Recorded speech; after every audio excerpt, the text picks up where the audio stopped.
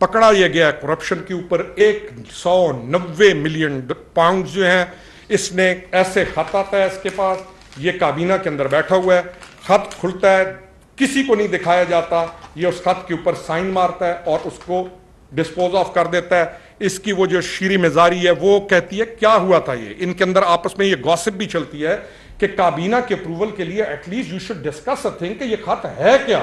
उन्होंने कहते चुप करो चुप करो, एक शहजाद अकबर नामी मनहूस इसके साथ था, जिसने चाहे नैब है, चाहे आपकी एंटी करप्शन है, चाहे जितने डिपार्टमेंट हैं, इन्होंने उसके अंदर एक पूरा ट्रायका बिठाया था, उधर से आज़म खान इसको लीड करता था, ये एक पूरा गैंग था, और उसके बाद मुर्शद पाक घर के अंदर मौजूद थी, और मुर्शद पाक ने जो हुक्म इसको दे दिया आखिरी बात यूनाइटेड नेशंस का दौरा करने के बाद, जहाँ पे आपकी खारजा मिनिस्ट्री ने, आपके तमाम ने कितना अच्छा काम किया और किस लेवल पर उन्होंने इसके दौरे को कवर किया, आपकी आपकी, आप कितना अच्छा कवर किया, कितना क्लासिक उस दौरे को कवर किया, मैं आपके पास आऊँ, आप मेरी इज़्ज़त अफजाई करें, को मैं, मेरा, ये आपने किया उस यूनाइटेड नेशंस के दौरे को जब ये गया और ट्रंप को मिला यूनाइटेड नेशंस सॉरी कह रहा हूँ, अमेरिका के दौरे को, ये ट्रंप को मिला, आपकी वजारत खारजा, आपकी मिलिट्री स्टैब्लिशमेंट आपके तमाम महकमों ने उस दौरे को इतना अच्छा किया कि इसका मकाम यहाँ से यहाँ पहुँच गया।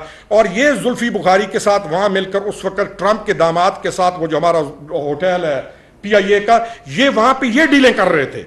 और ये जब वापस आता है, जहाज़ से जब उतरता है तो उतरते वक्त ही डजन छे मैं और निकलूँ यहाँ से और मैं आपका शुक्रिया अदा करूँ। ये ना पाकिस्तान का शुक्रिया अदा करता है, ना वजारत खारजा का शुक्रिया अदा करता है, ना किसी का शुक्रिया अदा करता है। ये कहता है कि मैं सलाम है मेरी बेगम माजिदा को, मैं शुक्रिया अदा करता हूँ कि उसके कर्म व फजल से, यानी कि उसके अवतार से, उसकी चीज़ से मेरा ये दौरा हुआ है। This is the this is the mind which he has ये फिर कभी मौका आया तो मैं आपको कहूँगा कि 2018 में मैंने कैसे मोबाइल फ़ोन निकाल कर कैसे एक बहुत बड़े अहदे के ऊपर बैठ के हुए बंदे को कहा था कि इन दो बंदों से इसको बचा लोगे तो मुल्क बच जाएगा।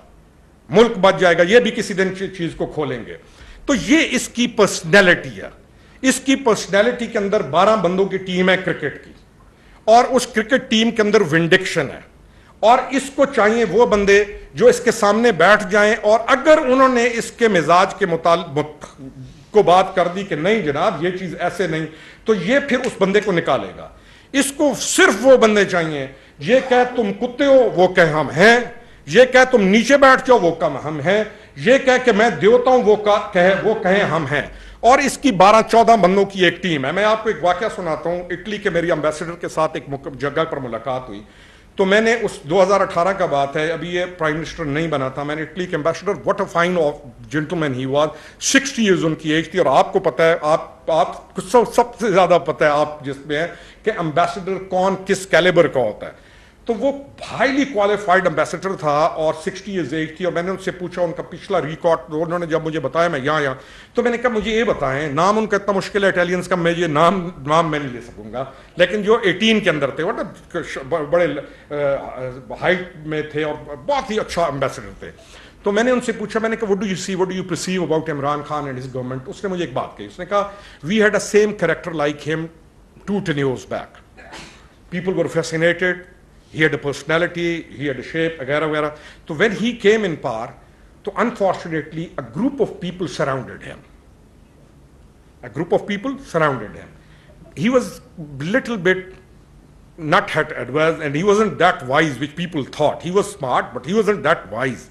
अब ये किसको कह रहा है मुझे बता रहा है कि he was that why but इसी तरह का वो था तो group of people surrounded him और उन्होंने उसको जब पहुँचाया गटर के ड्रेन में तो तब इटली को पता चला कि इटली के साथ क्या हो गया। आई एम नॉट पाकिस्तान नहीं, इटली की बात कर रहा हूँ।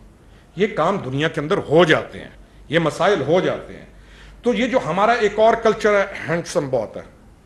मैं अभी कुछ अल्फाज अगर मैं बैठा तब बिल्कुल अपने वो जो डेरेदारी में तो मैं कुछ और तरीके से भी कहता, लेकिन अब आपका एक ऑनरेबल जगह है, मैं नहीं कह सकता हूँ।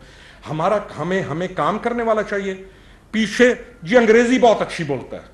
अंग्रेज़ी तो दुनिया के ममालिक नहीं बोल सकते, चाइनीज़ नहीं बोल सकते, जापनीज़ अंग्रेज़ी नहीं बोल सकते।